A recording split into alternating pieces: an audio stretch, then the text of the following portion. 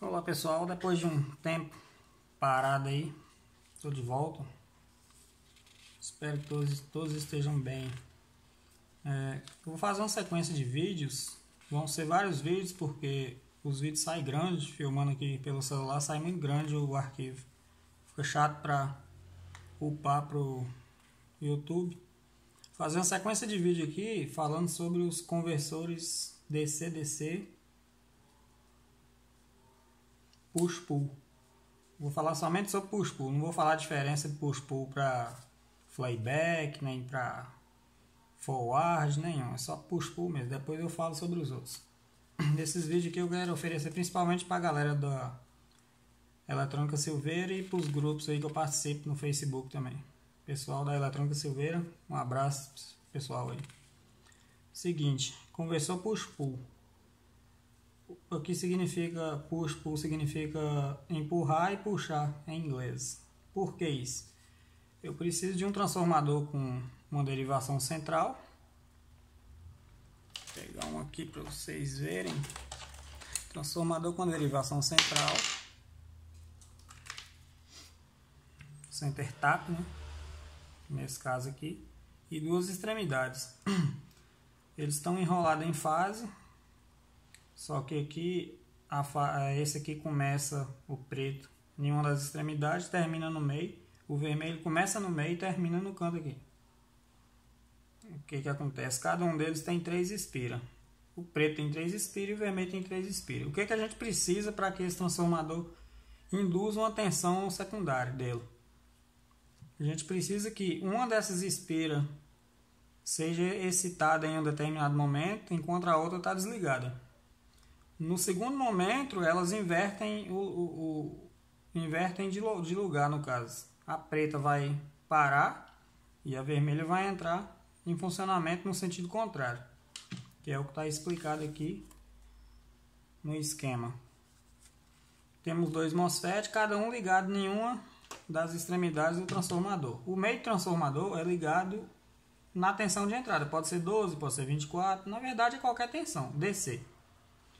O que, que acontece? Eu preciso de um CI, de um circuito integrado, especial, que gere um trem de pulso em duas saídas distintas. Esse trem de pulso tem que ser invertido em fase. Quando o de cima está on, o de baixo está off. Além disso, eu preciso também que esse trem de pulso não seja com duração de 50% o ciclo ativo dele. Não pode ser 50%, tem que ser menor.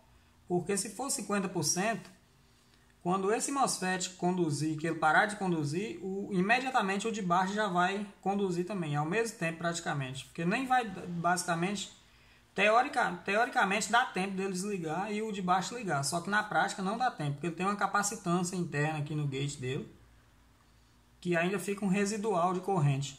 Isso causa um, um, um diferencial de potencial no gate e no source dele, ele vai continuar conduzindo pouco.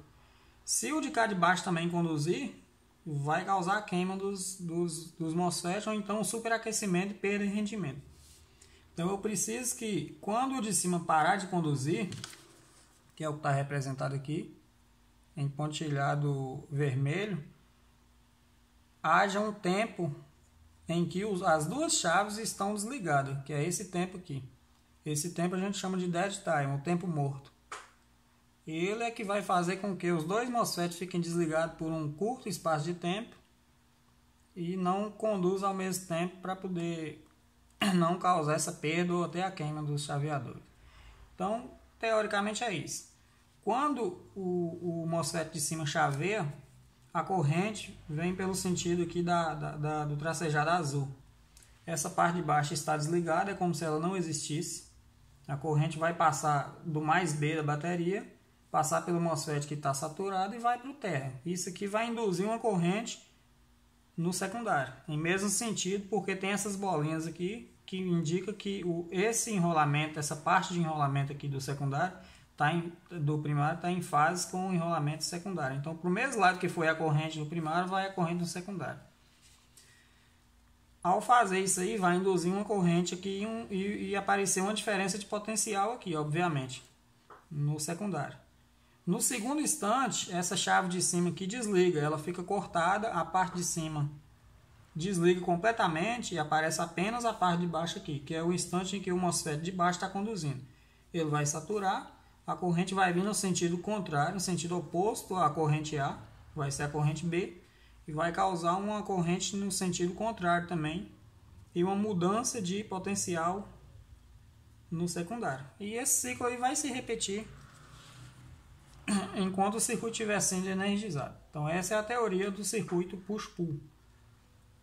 Esse circuito, o que, que acontece? Ele, ele costuma causar aqui, ó, no dreno dos MOSFET, ainda que eles estejam sendo alimentados por 12 volts, aqui no dreno do MOSFET aparece um, uma tensão muito maior do que 12 volts, geralmente até o dobro dos 12 volts.